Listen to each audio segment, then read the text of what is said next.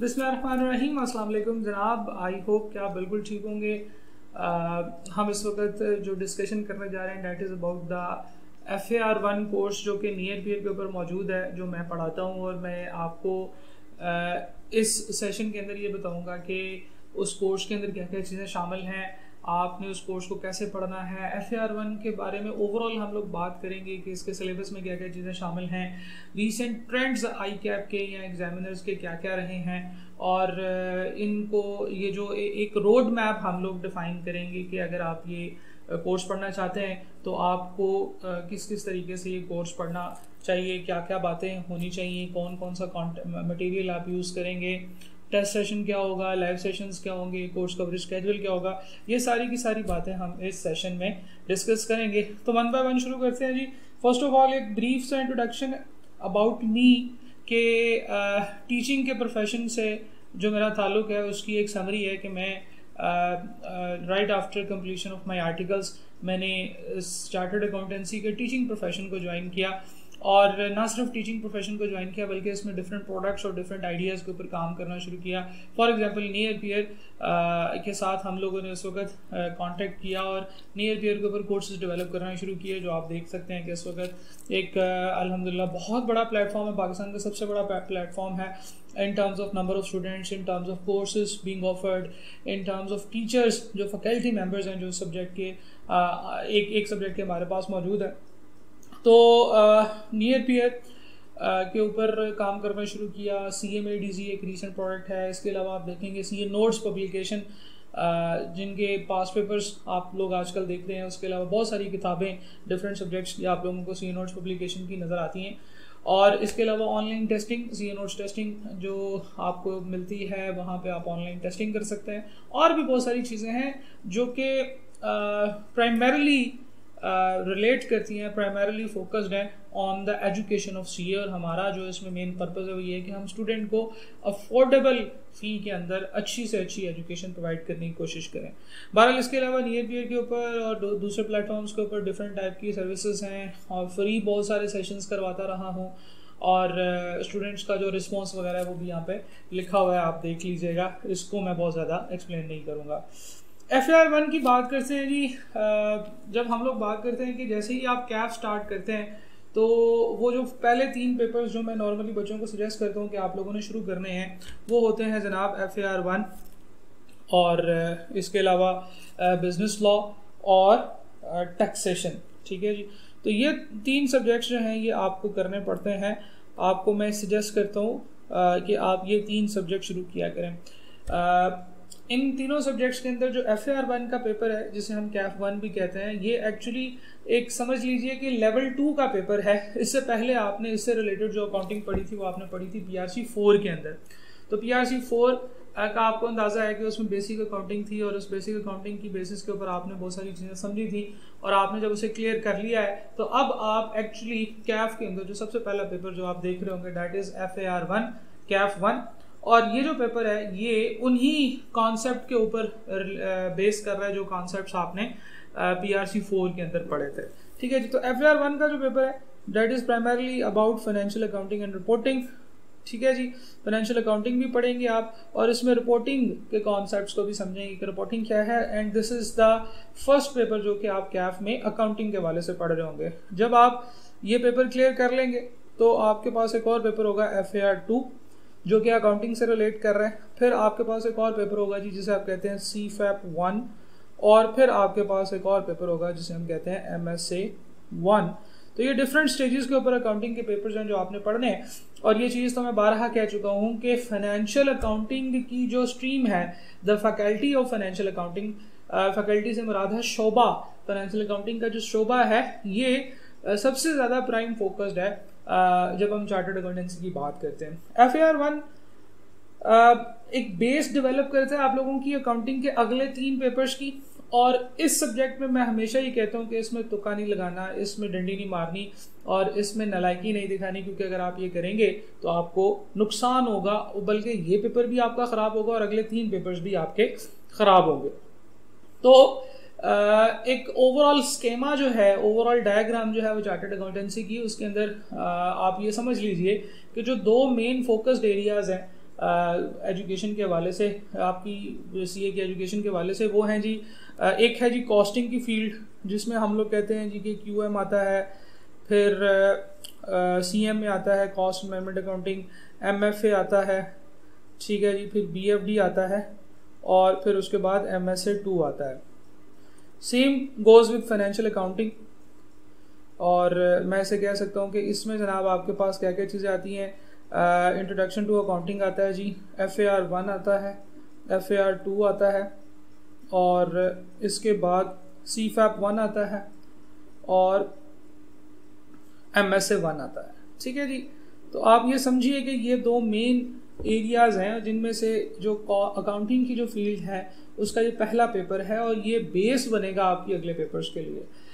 आई CAP अगर syllabus grid को explain uh, कर, करता है आप देखें तो इसके तीन मेन एरियाज़ हैं प्रिपरेशन ऑफ़ फाइनेंशियल स्टेटमेंट और conceptual framework and interpretation of financial statements यानी कि ये एक्चुअली है इंटरप्रिटेशन ऑफ़ फाइनेंशियल स्टेटमेंट एक है प्रिपरेशन और एक है इंटरप्रिटेशन ऑफ़ फाइनेंशियल स्टेटमेंट्स और तीसरा जो area that is accounting for financial transactions और ये ऐसे फाइनेंशियल ट्रांजेक्शन्स हैं जो कि कोई स्पेसिफिक ट्रांजेक्शन्स हैं और ख़ास तौर पे एफ़ आर वन के अंदर आपके non current asset I A sixteen के अंदर जो एसेट्स आपके डील होते थे, उन एसेट्स के मुतालिक बहुत सारे और जो स्टैंडर्ड्स हैं जो इनकी स्पेसिफिक बातों को डिस्कस करते हैं, वो यहाँ पे शामिल है। इस सिलेबस ग्रिड को देखकर मुझे बहुत ज़्यादा खुशी इसलिए नहीं होती है कि इस सिलेबस ग्रिड को देखकर हम ये अंदाज़ा नहीं लगा सकते कौन से एरियाज़ इंपॉर्टेंट हैं, कौन से एरियाज़ लेस इंपॉर्टेंट है। जैसे आपको याद होगा कि हम लोग क्यूएम के अंदर ये बात किया करते थे कि यार ये कुछ एरियाज़ है जिनकी वेटेज बहुत ज़्यादा है और इनको बहुत ज़्यादा अच्छे तरीके से आपने करना है और कुछ एरियाज़ है जिनकी वेटेज कम है तो चले इनको एक सेकेंडरी इंपॉर्टेंस दी जा सकती है। ऐसा एफ़ ए आर वन में कुछ नहीं है। आप देखेंगे जब आई के आपने उसको तीन पार्ट्स में डिवाइड किया और तीनों पार्ट्स जो है वो अप्रोक्सीमेटली थर्टी थर्टी के आसपास है तो भाई फिर तो ये क्या ग्रिड हुआ? फिर तो ये कोई ग्रिड नहीं है ना। फिर तो आई के आपने बस ये कहा कि ये एरियाज़ है और ये मैं पूछूँगा। अगर हम चैप्टर वाइज हर ग्रिड की बात करें तो ग्रिड ए जो है ग्रिड ए के अंदर chapter two five six eight और इलेवन है और ग्रिड बी के अंदर चैप्टर सेवन नाइन और टेन है और ग्रिड सी के अंदर आपको chapter one three and four है। तो देखने में लग रहा है कि जो ग्रिड ए है इसमें बहुत सारे चैप्टर्स हैं। uh, लेकिन अगर हम कंटेंट की भी बात करें तो uh, जो जो ग्रिड्स हैं इनमें से ग्रिड ए और आपका जो ग्रिड बी है ये आप समझ लीजिए कि ये तकरीबन एक जितने हैं। लेकिन ग्रिड सी जो है ये एक बड़ा ग्रिड है। इसमें दिखने में तीन चैप्टर्स हैं लेकिन इसमें अगर हम स्टैंडर्ड्स की बात करें तो ज़्यादा स्टैंडर्ड है। खैर बहरहाल मैं ये बताना चाह रहा हूँ कि आपको ये ग्रिड जो है, ये बहुत ज़्यादा उस तरह से इंपॉर्टेंट एरियाज़ की आइडेंटिफिकेशन में हेल्प नहीं करता कि यार ये एरियाज़ इंपॉर्टेंट हैं, इनको कर लिया जाए, ये अगर ना भी किया जाए तो ठीक है। एक और बहुत बड़ी प्रॉब्लम है, वो ये है कि ये टोटल कुल मिला के कितने ग्यारह चैप्टर्स हैं। ठीक है? अच्छा अब ये जो ग्यारह चैप्टर्स हैं और पेपर में ऑन एवरेज नौ सवाल आते हैं। ठीक है? तो इसका मतलब ये है कि there there can not be a chapter एक या दो से ज़्यादा चैप्टर्स एग्जामिनर कभी छोड़ेगा ही नहीं। तो अभी मैं आपको बताता हूँ, एक बड़ी इंपॉर्टेंट बात है जो आपने यहाँ से समझनी है। वो ये है, अगर मैं पास पेपर एनालिसिस की बात करूँ इस वक्त आपके सामने पास पेपर एनालिसिस है autumn two thousand spring two thousand eleven से onward autumn twenty twenty two तक का। अब इसमें अगर आप देखें तो पुराने जितना भी आपके पास जो टाइम पीरियड है, उसमें एक प्रॉब्लम थी कि कुछ एरियाज़ जो हैं, कुछ टॉपिक्स ऐसे हैं जो कि कहीं और जा चुके हैं। फॉर एग्ज़ाम्पल ये आपको नीचे लगेगा, नज़र आएगा कि topics currently not in the syllabus of F A R one यानी कि वो एरियाज़ जो अब एफ़ ए आर वन के टॉपिक्स एरियाज़ में नहीं है और कभी एफ़ ए आर वन के टॉपिक्स में पूछे जाते थे, कभी एफ़ ए आर वन के पेपर में पूछे जाते थे तो मैंने उनको नीचे शिफ्ट कर दिया ताकि आपकी सौ की गिनती भी पूरी हो जाए और आपको ये भी पता चल जाए कि ये एरिया अब किधर है। जैसे फॉर एग्ज़ाम्पल ब्रांच अकाउंटिंग ये पहले हुआ करती थी, अब सीए में किसी भी लेवल के ऊपर ये टॉपिक नहीं है। पाँच पेपर्स में से किसी भी पेपर में ब्रांच अकाउंटिंग का कॉन्सेप्ट नहीं है। ब्रांच अकाउंटिंग खत्म कर दी गई है क्योंकि ये एक ऑप्सोल्यूट कॉन्सेप्ट हो चुका है। सिमिलरली पार्टनरशिप जो है, ये भी डिलेटेड है। कुछ चैप्टर्स जो हैं, वो पी आर सी फोर में शिफ्ट हो गए हैं। जैसे कॉस्ट ऑफ़ प्रोडक्शन है फाइनल अकाउंट्स है आई एस टू है, ये पी आर सी फोर में चला गया। कुछ एफ़ ए आर टू में चले गए हैं और कुछ टॉपिक तो सीधे सी फैप वन में चले गए हैं। ठीक है? इन्हें कहने का मतलब ये है कि अगर आप पुरानी स्कीम के हिसाब से देखें तो टॉपिक्स की जो मूवमेंट है, वो कुछ हुई है। तो जनाब, उनका जो पास पेपर एनालिसिस है, वो शायद बहुत ज़्यादा वैल्यूएबल ना हो, लेकिन ये जो रीसेंट दो अटैम्प्ट अभी तक हो चुकी हैं आटम 2022 और स्प्रिंग 2022 की, इन दोनों अटैम्प्ट्स के पास पेपर एनालिसिस से आपको बड़ी मज़े की इंपॉर्टेंट बातें पता चलती हैं और वो क्या क्या हैं, ये मैं अब आपके साथ शेयर करने लगा हूँ। सबसे पहले अगर आप स्प्रिंग 22 की बात करें तो मैं आपका जो फोकस है वो इस तरफ़ कराना चाहता हूँ, आपका ध्यान इस तरफ़ मबजूल कराना चाहता हूँ कि भाई, हर चैप्टर में से क्वेश्चन आ रहे हैं। तीन नंबर छः नंबर नौ नंबर अठारह नंबर आठ नंबर चार नंबर और आठ नंबर दस नंबर एक नंबर और पंद्रह नंबर ठीक है जी? अच्छा प्रॉब्लम क्या है? आई ए एस एट का टॉपिक नहीं आया आई एस एट का टॉपिक ऑटम स्प्रिंग 2022 के अटैम्प्ट में नहीं पूछा बच्चे बड़े खुश थे। मैंने कहा, यार, ये कैसे हो सकता है? तो जब मैंने ई पी एस वाला जो क्वेश्चन था, ये जो आठ नंबर का सवाल था, इसमें देखा तो मुझे पता चला कि आई ए एस एट भी इसमें पूछा हुआ है not E P S that is actually statement of changes in equity now number का सवाल के अंदर आई ए एस एट का भी एक कॉन्सेप्ट उन्होंने पूछ लिया था। कहने का मतलब यह है कि स्प्रिंग बाईस के अंदर हंड्रेड परसेंट चैप्टर्स में से पेपर आया था। ओके ऑटम ट्वेंटी टू की बात करते हैं। ये जो बिल्कुल रिसेंट अटैम्प्ट गुजरी है। बीस नंबर, आठ नंबर, सात नंबर, तीन नंबर, आठ, एक, दो, पंद्रह पंद्रह, सात और चार। आई ए एस फोर्टी का सवाल नहीं आया था, लेकिन अगर आप गौर से देखें इस पेपर को तो ये जो बीस नंबर का आई ए एस सिक्सटीन का क्वेश्चन था इसमें कुछ सात आठ नंबर की adjustments I A S forty से रिलेट कर रही थी। अगर आपको नहीं पता कि आई एस फोर्टी क्या है ट्वेंटी क्या है ट्वेंटी थ्री क्या है तो डोंट वरी मुझे पता है कि आप लोगों ने पहली दफ़ा ये वर्ड्स ये ये स्टैंडर्ड सुने हैं बट आई नो कि आपको स्टैंडर्ड्स की थोड़ी बहुत नॉलेज है कि स्टैंडर्ड्स क्या होता है। अगर नहीं भी है तो डोंट वरी हम लोग ये चीज़ें पढ़ेंगे। यहाँ से, इस स्लाइड से आप लोगों को जो चीज़ मैं देना चाहता हूँ, जो इस स्लाइड का टेक अवे है, वो ये है कि हंड्रेड परसेंट चैप्टर्स आपके कवर किए जाते हैं। और अब जो रीसेंट पेपर्स आना शुरू हुए हैं, वो आपके सारे के सारे चैप्टर्स में से पूछा जाता है पेपर इसका मतलब ये है कि सेलेक्टिव स्टडी अगर आप करेंगे तो आपके फेलियर के चांसेस बहुत ज़्यादा इंक्रीज हो जाएँगे। ठीक है जी? तो ये एक बड़ी इंपॉर्टेंट बात है, जिस बात को समझना ज़रूरी है। कि जनाब, अब एग्जामिनर जो है, वो जिस तरह से सवाल पूछ रहा है, वो सारे के सारे चैप्टर्स को काउंटर कवर करता है। और चैप्टर भी तो देखे ना, थोड़े से हैं, चुने मुन्ने से ग्यारह चैप्टर्स हैं। कुछ और बातें जो रीसेंट दो अटैम्प्ट यानी कि जो नई स्कीम आई है आई की एजुकेशन स्कीम 2021 उसके हवाले से, उसके अंदर जो है ना, वो हम लोग कुछ और बातें देख लेते हैं। ये तो पिछला स्क्रीन शॉट है, जो हम लोगों ने डिस्कस किया था कि जनाब, हर चैप्टर से सवाल आ रहे हैं, हर चैप्टर से सवाल आ रहे हैं। बल्कि अगर आप ये देखें तो ये तीन एरियाज़ ऐसे हैं जिनको, जो, जिनको आई कैप ने बुक में इन तीन स्टैंडर्ड्स को मिला के एक चैप्टर बनाया हुआ है चैप्टर नंबर थ्री तो अगर आप सिर्फ़ इसकी बात करें तो आठ और चार, बारह और छः अठारह नंबर का पिछले सेशन में और दस नंबर का इसमें, और इवन इसमें से भी अगर हम लोग छः नंबर इसमें ऐड करें तो सोलह नंबर तो ये. तो ये नहीं कि कहने का मतलब ये है कि हर चैप्टर में से सवाल आता है और मैं आज पहले दिन आपको एट द स्टार्ट सेशन ये बात बता रहा हूँ कि सिलेक्टिव स्टडी नहीं करनी, सारे टॉपिक्स कवर करने हैं और फिर ही आप पास हो सकेंगे। देखिए आई कैब ने एक बड़ा इंपॉर्टेंट स्टैट शेयर किया और वो ज़रा गौर से सुनिएगा, मैं मैं समझता हूँ कि उसकी इंटरप्रटेशन बहुत गलत है। लोगों को जब वो चीज़ बात समझ आई तो उन्होंने ठीक से अंडरस्टैंडिंग किया। आई कैप ने ये कहा कि जो लोग पास हुए जो लोग पास होते हैं किसी भी पेपर में, उसका टू परसेंट लोग ऐसे होते हैं जिन्होंने more than one paper more than one question छोड़ा होता है। मोर देन वन क्वेश्चन छोड़ा होता है और फिर भी वो पास हो जाते हैं। More than one question left but still they are pass ठीक है जी? यानी कि जो सौ बच्चे पास हुए हैं उन सौ के सौ बच्चों का क्वेश्चन पेपर देखा गया है। उनमें से सिर्फ़ दो लोग ऐसे हैं जिन्होंने एक सवाल छोड़कर भी पास कर लिया। इसका मतलब यह है कि ऑन एवरेज बल्कि a very very good uh, performance side students are not able to secure good marks और वो जैसे ही कोई भी एक सवाल छोड़ देते हैं वो उनके फेल होने के चांसेस बहुत ज़्यादा बढ़ जाते हैं। ठीक है? और वो इतने ज़्यादा इंक्रीज हो जाते हैं कि वो बहुत ही थोड़ी सी तादाद रह जाती है उन बच्चों की जो फिर भी पास होते हैं एक सवाल छोड़ने के बाद। अच्छा ये चीज़ समझ ली आपने कि आपने कोई भी एरिया कोई भी टॉपिक कोई भी चैप्टर छोड़ना नहीं है और उसको आपने करना है। कुछ और बातें हैं जो इन दो अटेम्प्ट के एनालिसिस से आपको पता चलेंगी। एक चीज़ ये देख लीजिएगा, अगर मैं इसका पास पेपर एनालिसिस का जो पिछली दो अटेम्प्ट गुजरी हैं, उनका ग्रिड वाइज एनालिसिस करूँ तो फॉर एग्जांपल ग्रिड ए जो है स्प्रिंग 2022 में इसमें से सैंतीस नंबर का पेपर आया और ऑटम 2022 में इसमें से 36 नंबर का पेपर आया। टोटल साढ़े छत्तीस की एवरेज बनती है। और अगर आप बात करें तो आई कैप ने जो इस एरिया की एवरेज डिस्क्लेम किया है कम्युनिकेट किया है, वो है जी पैंतीस से पैंतालीस।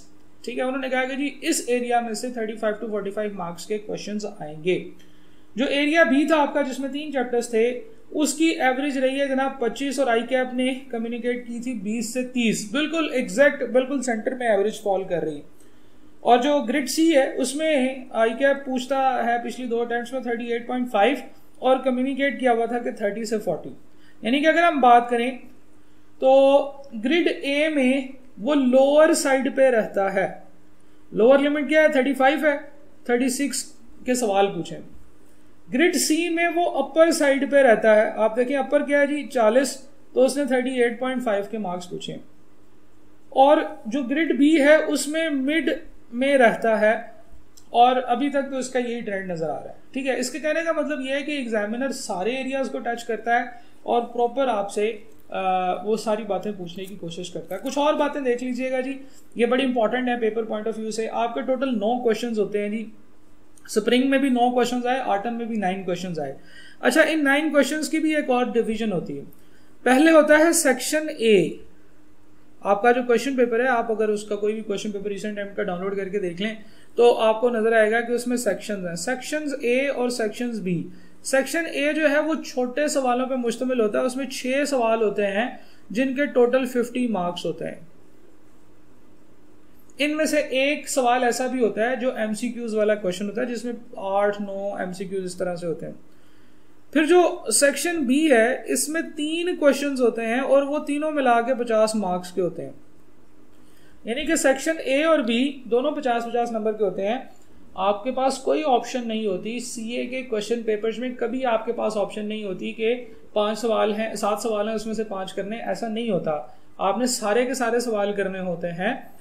और ये चीज़ समझ लीजिएगा कि आपने टोटल पचास नंबर हासिल करने हैं। ये नहीं है कि दोनों सेक्शंस में अलग अलग पास होना है। ऐसा नहीं है, बच्चे पूछते हैं कि सर, क्या सेक्शन ए में भी पच्चीस नंबर लेना ज़रूरी है और बी में भी पच्चीस नंबर लेना ज़रूरी है? ऐसी बात नहीं है। आपने टोटल कुल मिला के पचास नंबर हासिल करने हैं सेक्शन ए भी दोनों में से। अच्छा। अगर हम बात करें कि एमसीक्यूज कितने आए तो नॉर्मली जो आपका क्वेश्चन नंबर सिक्स होता है ना सेक्शन ए का आखिरी क्वेश्चन वो एमसीक्यूज का क्वेश्चन होता है।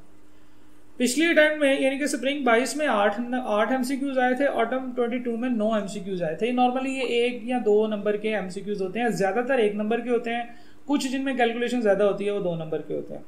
अच्छा ये बड़ा इंपॉर्टेंट स्टैट है कि क्या कोई चैप्टर मिस हुआ पेपर से? तो जनाब ऑटम 22 और स्प्रिंग 22 इन दोनों में कभी कोई चैप्टर एग्जामिनर ने मिस नहीं किया। एग्जामिनर सारे चैप्टर्स में से सवाल पूछता है।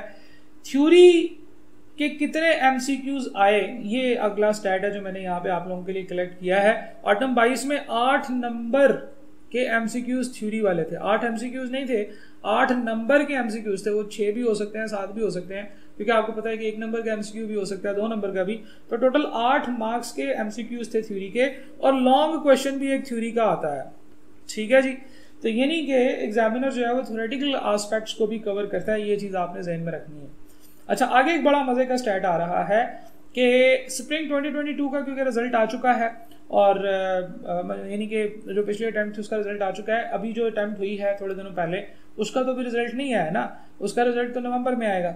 लेकिन जो अटैम्प्ट हुई उसमें 8,536 लोगों ने अपियर किया जिसमें से सिर्फ़ 1993 लोग पास कर सके which is alarming alarmingly at lower side यानी कि 23 परसेंट लोग ही सिर्फ़ उसमें पास कर सके इस पेपर को, और ये पेपर अपनी नौीयत का एक मुश्किल पेपर था, जिसकी रीज़न कुछ और भी हैं। यानी कि उस वक्त बच्चों को इंट्रोडक्शन टू अकाउंटिंग की एग्जामेशन मिल चुकी थी, और और बहुत सारी उसकी ग्राउंड रियलिटीज़ थी जिसमें जाने की ज़रूरत नहीं है। सो लॉन्ग स्टोरी शॉर्ट ये पेपर एक चैलेंजिंग पेपर भी होता है, और सबसे बड़ी रीज़न जो इस पेपर में फेलियर की है, वो यही है कि बच्चे पूरा पेपर तैयार करके नहीं जाते, पूरा पेपर उधर बैठ के कर नहीं पाते टाइम मैनेज नहीं होता, हाथ दर्द होने शुरू हो जाते हैं, सारे सवाल नहीं कंप्लीट कर पाते। तो ये जो कुछ ऐसी बातें हैं, जिनको जेन में रखना होगा। पेपर को कैसे पास करना चाहिए क्या क्या टिप्स हैं, क्या टेक्निक्स हैं डेफिनेटली वो हम भी साथ साथ में देखते रहेंगे। अभी हम ये बात करते हैं कि ये जो हमारा कोर्स है, जो नियर पीयर के ऊपर मेरा कोर्स मौजूद है, इसमें क्या क्या चीज़ें शामिल हैं। देखिए, हम लोगों ने बात की है कि इसके डिफरेंट फीचर्स होते हैं। सबसे पहले तो मैं आपको कोर्स कवरेज स्केजुअल बताता हूँ जी। ये हमारा सिलेबस कवरेज स्केजुअल है। अगर आपने कोर्स ज्वाइन कर लिया है और आप वीक नंबर वन में हैं तो आपने फ़र्स्ट वीक में जो कि मंडे से लेकर संडे तक चलेगा, तीन अक्टूबर से नौ अक्टूबर तक, इसमें प्रॉपर्टी प्लांट एंड इक्विपमेंट के ये तीन मॉड्यूल्स आपने कंप्लीट करने हैं। Property plant and equipment I S sixteen के अंदर छः सात मॉड्यूल्स बने हुए हैं। उसमें से पहले तीन मॉड्यूल्स आपने इस वीक में कवर करने हैं। और अगर आप ये टारगेट को कंप्लीट करना चाहें एक हफ़्ते के अंदर तो it will take approximately maximum one point five to two hours के एक दिन का आपका काम उसमें कंप्लीट हो जाता। फिर ये बड़ा ज़रूरी है कि आप वीक बाय वीक हर वीक के टारगेट को कैप्चर करें। और ये ऐसा नहीं है कि अगर आप एक वीक में पीछे रह गए हैं तो फिर आप पीछे ही रह जाएँगे। आप अगले वीक में थोड़ी सी मेहनत ज़्यादा करें और इसी टारगेट को मीट करने की कोशिश करें क्योंकि इसी टारगेट की बेसिस के ऊपर आगे आपके लाइव सेशंस भी हैं और इसी टारगेट की बेसिस के ऊपर आगे आपके टेस्ट सेशंस भी हैं। मॉड्यूल बाय मॉड्यूल इसमें हर वीक का एक टारगेट आपको दिया गया और मज़े की बात यह है कि जब आप आ, ये ये सारा ग्रिड सी है जी। ये ग्रिड सी जैसे ही आप कंप्लीट कर लेंगे तो आपको एक हफ़्ते का रेस्ट भी बीच में दिया जाएगा। कि आप इस वीक में आप अपनी अगर कुछ चीज़ें पुरानी रह गई हैं तो उसको कवर कर लें कुछ रिविजन्स रह गई हैं तो उन रिविजन्स को कवर कर लें। तो मैं ये चाहता हूँ कि अगर आप पेपर ये पास करना चाहते हैं तो एक रूटीन बनाएँ डेली बेसिस पे डेढ़ से दो घंटे आपने अकाउंटिंग करनी है और उस अकाउंटिंग के दौरान आपके सारे कॉन्सेप्ट हर चीज़ जो है वो आपकी कंप्लीट हो जाएगी। हम लोग आगे चलते चले जाएँगे। आ, इस वीक में आपने ये करना है इस वीक में ये करना है so on and so forth कुछ वीक के टारगेट्स हैं वो थोड़े टाइट होंगे। जैसे फॉर एग्जांपल कुछ एरियाज़ बड़े हैं, जैसे स्टेटमेंट ऑफ़ कैश फ्लोज का जो वीक है, ये आपका बड़ा हैवी बड़ा हेक्टिक गुजरेगा। क्योंकि इसमें आपने डेली बेसिस के ऊपर चार पाँच घंटे लगाने होंगे, ठीक है? तो वो मैं साथ साथ में बताता रहूँगा कि भाई, अब ये वाला वीक आ रहा है तो इसमें आपने इतनी मेहनत करनी है, ये वाला वीक आ रहा है चलेंगे आपके लिए थोड़ा ईजी है तो आप दूसरे सब्जेक्ट्स के ऊपर भी फोकस कर सकते हैं। लेकिन अगर आप ये स्केड्यूल को कैरी करके रखेंगे तो आई एम वेरी श्योर कि इन आप लोगों का सिलेबस भी ना सिर्फ़ टाइम पे कंप्लीट हो जाएगा, बल्कि आप लोग revision classes test session live sessions इनमें पार्टिसिपेशन करेंगे। लास्ट मंथ हमेशा हमारा पास पेपर के क्वेश्चंस का होता है, हम लोग पास पेपर क्वेश्चंस करते हैं तो उससे भी आपकी ये कोर्स कवरेज जो है, ये पूरी हो जाएगी और जो आपकी प्रिपरेशन है, उसमें मज़ीद अगर कोई खामी रह गई होगी तो वो भी कवर हो जाएगी। तो आपने सबसे पहले ये टारगेट रखना है जनाब के 22 जनवरी 2023 इज़ द डेट जिस दिन आपका सिलेबस 100 परसेंट कंप्लीट होना चाहिए। अच्छा सिलेबस कवरेज भी एक बड़ी मज़े की बात है। मैंने मैं आप लोगों को आ, बहुत सारे पास पेपर के सवाल कराए हैं उसकी एक लिस्ट भी है तकरीबन 55 या 60 के करीब पास पेपर के क्वेश्चंस हैं जो मैंने इसमें कराए हुए हैं एग्जाम्पल्स और इस तरह की चीज़ें इसके अलावा है। इस कोर्स के अंदर जो अभी तक अपलोडेड है। मेरी आपसे रिक्वायरमेंट ये है कि लेट सपोज़ कि आई ए एस सिक्सटीन का एक एरिया है, उसके मैंने दो पास पेपर के क्वेश्चन करवाए हुए हैं और वो रिकॉर्ड करा के मैंने वीडियोज़ वहाँ पर रखी हुई हैं।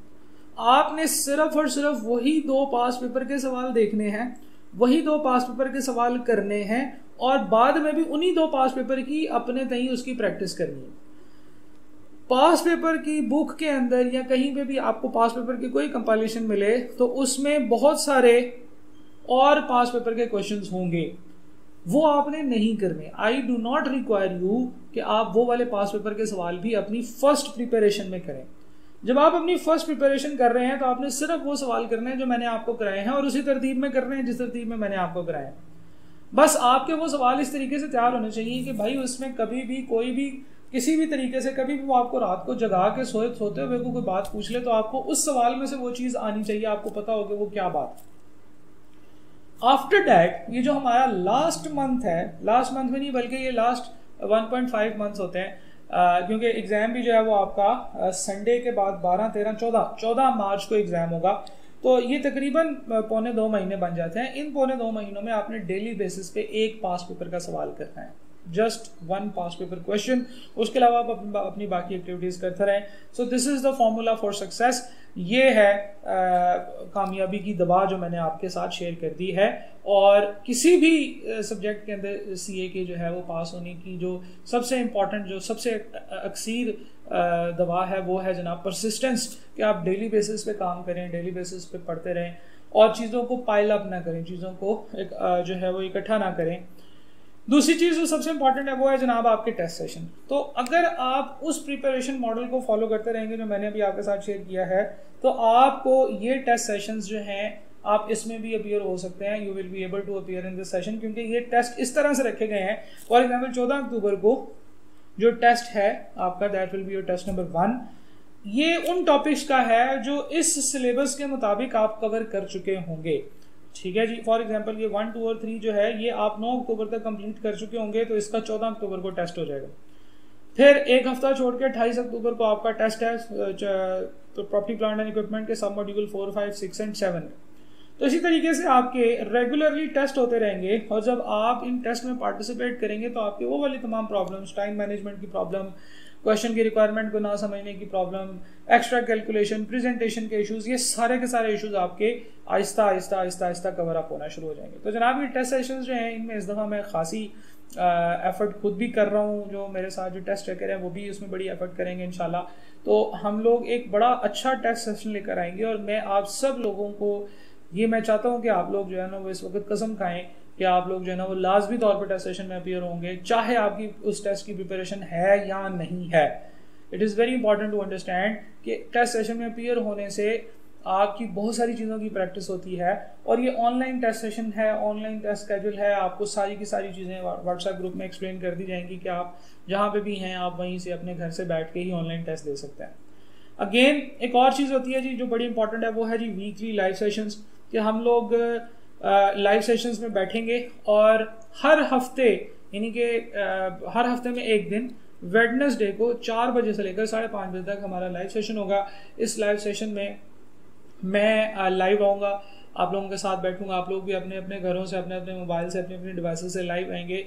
Whatever your question is whatever your confusion is जो आपको गाइडेंस चाहिए, जो आपको प्लानिंग में हेल्प चाहिए, जो आपके इश्यूज़ हैं, वो आप मेरे साथ शेयर करेंगे और फिर मैं आपको उसका कोशिश करूँगा कि एक रिस्पॉन्स देने की कोशिश करूँ।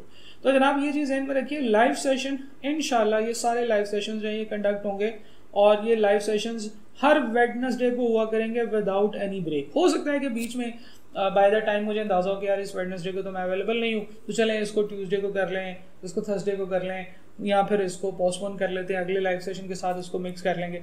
लेकिन ये एक लाइव सेशन होगा जो आपकी और मेरे दरमियान एक डिस्कशन है, एक टॉक है, एक मीटअप है, एक सोशल इंटरेक्शन है, कि जिसमें हम आपस में मिलकर ये चीज़ें डिस्कस कर रहे हैं, जो इश्यूज़ हैं उनको डिस्कस कर रहे हैं, जो प्रॉब्लम्स हैं आपकी उनको डिस्कस कर रहे हैं। अगर फ़र्ज़ करें कि आपको किसी सवाल में दिक्कत आ रही है तो वो क्वेश्चन मैं आपसे ले लूँगा। मैं उसको लाइव सेशन में नहीं कराऊँगा। मैं उसको कराऊँगा तो एक एक फुल फ्लैज उसकी वीडियो बना के पोर्टल पे डाल दूँगा कि ताकि आपके बाद में आने वाले लोगों के लिए भी वो मदद जो है वो कारगर साबित हो जाए। ओके तो लाइव सेशन का भी ज़िक्र कर लिया हमने। हर वेडनेसडे को हम लाइव सेशन करेंगे। अब हमारा जो पहला लाइव सेशन है वो वेडनेसडे पाँच अक्टूबर को चार बजे से लेकर साढ़े पाँच बजे तक होगा। व्हाट्सएप ग्रुप्स जो हमारे बने हुए हैं नियर पियर के, उसमें रजिस्टर्ड स्टूडेंट्स को लाइव सेशन के लिंक्स मिल जाएँगे और वो उसको कॉन्टैक्ट कर, उस पर क्लिक करके लाइव सेशन अटेंड कर सकते हैं। एक बड़ी इंपॉर्टेंट बात है जी, जो बच्चे पूछते हैं कि, सर स्टडी मटेरियल कौन सा यूज़ करें? अकाउंटिंग के सब्जेक्ट्स में मैं ये समझता हूँ कि स्टडी मटेरियल या ये जो बुक्स वगैरह होती हैं, ये उतनी ज़्यादा हेल्पफुल नहीं होती हैं और ये बहुत ज़्यादा मोटिव भी होती हैं, क्योंकि इनमें बहुत सारी एग्जाम्पल्स उनके सोल्यूशन और इस तरह की चीज़ें होती हैं। तो आई कैन से कि आई कैप का स्टडी टेक्स्ट अगर आपके पास है और एग्जामिनेबल सप्लीमेंट है, आपको पता है कि एग्जामिनेबल सप्लीमेंट भी है आई एस थर्टी सिक्स की कुछ चीज़ें उसके ऊपर डिस्कस की हुई हैं उन्होंने तो वो बुक का ही पार्ट आप समझ लीजिए कि वो है। इनकी सॉफ्ट कॉपीज़ अगर आपके पास है तो डेट इज़ अनफ असल में आपने जो पढ़ना है, आपको लेक्चर में जो चीज़ बताई जाएगी, आपको बताया जाएगा, इसका ये फार्मूला है, इसकी एडजस्टमेंट है, इसकी ये कैलकुलेशन है तो उसके आपने खुद अपने नोट्स बनाने हैं। आपने अपने शॉर्ट नोट्स बनाने हैं। जब तक वो चीज़ आप अपने हाथ से नहीं लिखेंगे, वो आपके लिए उसको याद करना, उसको अंडरस्टैंड करना जो है वो उसकी दिक्कत रहेगी। जब आप एक दफ़ा उसे लिख लेंगे तो वो that will be committed to your memory और आपको उसके बाद उसमें इनशाला कभी दिक्कत नहीं होगी। तो कोशिश करें कि ज़्यादा से ज़्यादा हैंड रिटन नोट्स बनाएँ। कोई भी बुक लें, आपकी मर्ज़ी है। मैं बुक में कोई स्पेसिफिक नहीं हूँ, जो क्वेश्चन मैंने कराए हैं माई फ़र्स्ट रिक्वायरमेंट इज़ कि आपने सिर्फ़ वो वाले सवाल करने हैं, ठीक है? क्योंकि प्रॉब्लम ये होती है कि बहुत सारी बुक्स जो हैं, वो डिफरेंट कॉन्सेप्ट और डिफरेंट माइंडसेट के साथ बनी होती हैं, अक्सर जगहों से छापे लगे होते हैं। तो प्रॉब्लम ये होती है कि बच्चे जब उस तरह की बुक यूज़ करते हैं तो वो कॉन्फिडेंट उनमें कॉन्फिडेंस आने की बजाय वो मज़ीद कन्फ्यूज़ हो जाते हैं कि यार, ये तो हमने पढ़ाई नहीं, या ये तो हमारे टीचर ने कराया ही नहीं। और हालाँकि उसका एग्ज़ाम के साथ कोई इतना ज़्यादा डायरेक्ट रिलेशनशिप भी नहीं होता कि यार, ये चीज़ें जो है वो आपके सिलेबस में शामिल हैं या नहीं शामिल। तो इस तरह की चीज़ें होती हैं कि इसलिए मैं ये समझता हूँ कि आप जिस टीचर से पढ़ रहे हैं, आप उस टीचर के कंटेंट और उस टीचर के नोट्स वगैरह के ऊपर फोकस रहें। इधर उधर की किताबों में झांकने की ज़रूरत नहीं है। You will be confuse you will be misguided और जो कि एक अच्छी बात नहीं है। हाँ आई कैप के पास पेपर की जो अक्सर सॉफ्ट कॉपीज़ भी शेयर हो रही होती हैं, आप वो सॉफ्ट कॉपी अपने पास रख सकते हैं। आप प्रिंटेड आई कैप के पास पेपर की जो कंपाइलेशन है, वो आप यूज़ कर सकते हैं। तो इसमें डिफरेंट चीज़ें हैं। बुक के हवाले से आपके पास जो भी बुक है that is enough that is fine पढ़ना आपने वो वीडियो लेक्चर्स हैं जो मैंने आपको पढ़ाए हैं, उसमें कॉन्सेप्ट जो मैंने ज़िक्र किए हैं, वो आपने नोट करने हैं, उनको लिखना है, जो सवाल मैंने कराए हैं, उनकी प्रैक्टिस आपने करनी है। ठीक है जी? So this was all about the study material to be use एक बड़ी इंपॉर्टेंट बात है जी that is open book exam for F R one F R one जो है, वो ओपन बुक एग्ज़ाम है। अब ओपन बुक क्या होता है? पाकिस्तान ये जो अकाउंटिंग स्टैंडर्ड्स हैं, जिनको हम लोग आई एफ़ आर एस भी कहते हैं अकाउंटिंग स्टैंडर्ड्स आई कैप की जो ऑफ़िस हैं वहाँ से उनकी हार्ड कॉपी मिल जाती है हार्ड बाउंड कॉपी कॉपीज मिल जाती हैं। यहाँ स्टूडेंट तकरीबन साढ़े तीन, चार हज़ार रुपये देकर परचेज कर सकता है। इस बुक के अंदर अकाउंटिंग के तमाम रूल्स लिखे होते हैं। तमाम अकाउंटिंग स्टैंडर्ड्स का टेक्स्ट लिखा होता है, जिसमें ये बताया गया होता है कि यार इसको, इसकी ट्रीटमेंट ऐसे करनी है, इसकी ट्रीटमेंट ऐसे करनी है। ये ज़्यादा एक डिस्क्रिप्टिव डॉक्यूमेंट होता है, जिसमें बहुत सारी इंग्लिश लिखी होती है और शायद कैलकुलेशन पॉइंट ऑफ़ व्यू से बहुत थोड़ी सी चीज़ें लिखी होती हैं। क्योंकि ये सिर्फ़ एक टोन सेट करता है कि यार एसेट की डेप्रिसिएशन जो है वो इस पैटर्न से भी हो सकती है, इस पैटर्न से भी हो सकती है, इस पैटर्न से भी हो सकती है। उसका फॉर्मूला क्या है, उसकी कैलकुलेशन क्या है, शायद उसमें मौजूद हो, शायद उसमें मौजूद ना हो। तो ये जो अकाउंटिंग स्टैंडर्ड जिनको हम आई एफ़ आर एस कहते हैं, ये आई एफ़ आर एस आप एग्ज़ाम हॉल में अपने साथ लेकर जा सकते हैं and during your exam of F R one आप उनको ओपन करके रेफर कर सकते हैं। लेट सपोज़ कि आपको आई सिक्सटीन की कोई चीज़ याद नहीं आ रही, कोई डेफिनेशन याद नहीं आ रही, कोई कंटेंट याद नहीं आ रहा तो you can open your standards और आप वहाँ से देख कर नकल कर सकते हैं, वहाँ से देख कर वो चीज़ें लिख सकते हैं। लेकिन ये जो ओपन बुक है आपकी, इसका आपको तभी फ़ायदा होगा जब आपने ओपन बुक ले, ये अकाउंटिंग स्टैंडर्ड्स लेकर इसके हर स्टैंडर्ड को थॉरली पढ़ा है, उसको अंडरलाइन किया है, उसको नोट डाउन किया है। एक चीज़ ये याद रखिएगा कि ये जो अकाउंटिंग स्टैंडर्ड्स होते हैं, इनके ऊपर कोई राइटिंग अलाउ नहीं है। You can not write anything आप उस पर लिख नहीं सकते पेंसिल से पेन से, किसी भी चीज़ से। अगर आपने लिखा हुआ है और एग्जामिनर वो आपके standards during your exam check कर लेता है तो आपसे वो स्टैंडर्ड ले लेगा, आपके स्टैंडर्ड फॉरफिट कर लेगा और एग्ज़ाम के बाद आपको वापस करेगा। तो कहने का मतलब ये कि it is not allowed to write anything on it हाँ आप उसको हाईलाइट कर सकते हैं, आप अंडरलाइन कर सकते हैं, आप उसके ऊपर डिफरेंट टाइप के सिंबल्स बना सकते हैं जिससे आपके लिए जो है ना वो आसानी होगी। तो वो वो क्या तरीका कार है, वो क्या मैकेनिज्म है, उसके ऊपर भी इंशाल्लाह हम ड्यूरिंग द सेशन बड़ी डिटेल से बात करेंगे।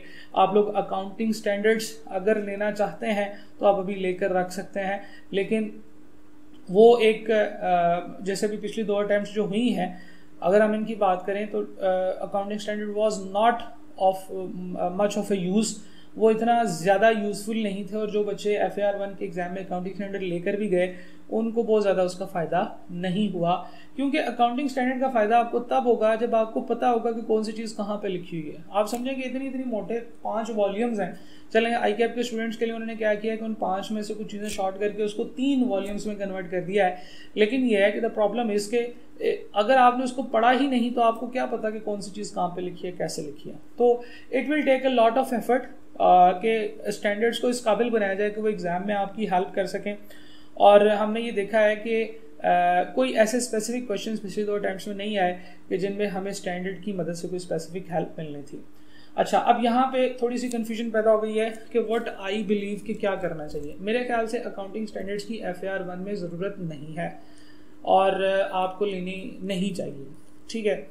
अगर उसका, अब अब इस, इसमें एक प्रॉब्लम है। इस इस स्टेटमेंट में एक प्रॉब्लम ये है कि अगर कल को कोई क्वेश्चन आ गया जो कि अकाउंटिंग स्टैंडर्ड से डायरेक्टली कॉपी पेस्ट हो सकता था तो लोग तो मेरी ये वीडियो का ये वाला चंक निकाल निकाल के चलाएँगे और कहेंगे, देखें कि जाजेद साहब ने ये कहा था कि अकाउंटिंग स्टैंडर्ड लेने की ज़रूरत नहीं है और अकाउंटिंग स्टैंडर्ड अगर मेरे पास होते तो मेरे ये तीन नंबर सिक्योर हो जाता है या ये मेरे दो नंबर या पाँच नंबर सिक्योर हो जाते है।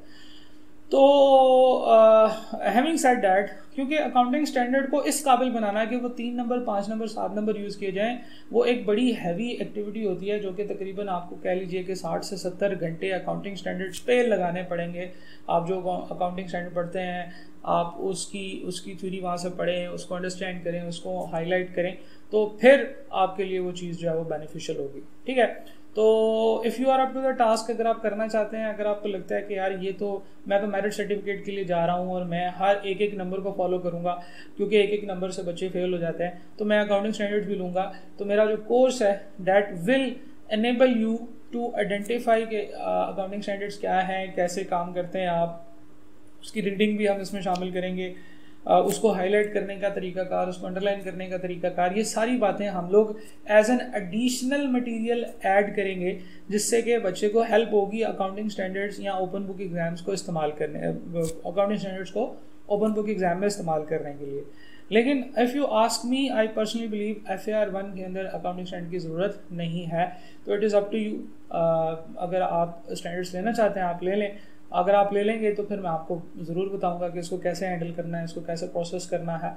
और क्योंकि ज़्यादा जो इम्पोर्टेंट चीज़ है वो ये है कि जो अकाउंटिंग स्टैंडर्ड्स के अलावा जो हमने चीज़ें पढ़ी हैं, जो कॉन्सेप्ट समझे हैं, क्योंकि अगर आप क्वेश्चन के पैटर्न भी देखें तो वो बड़े बड़े क्वेश्चन आ रहे हैं जिसमें आपने अकाउंटिंग ट्रीटमेंट्स उसी तरह से करनी है जैसे हम क्लास में सीख रहे हैं। और बहुत ज़्यादा सवाल अकाउंटिंग स्टैंडर्ड से नहीं आता। है ठीक है जी? So this was all about the open book exam I hope कि आपको ये सारी चीज़ें समझ आई होंगी. If you have any question you can ask in WhatsApp group आपने कोर्स ज्वाइन कर लिया होगा तो आप व्हाट्सएप ग्रुप में सवाल पूछ सकते हैं. और भी जो आपके इश्यूज़ हैं यू कैन आस्क आप नियर पी से भी पूछ सकते हैं, जो भी आपकी प्रॉब्लम्स हैं. ये सेशन को मैं यहाँ पे ख़त्म कर रहा हूँ जी. आप सब लोगों का बहुत बहुत शुक्रिया. अल्लाह हाफिज़.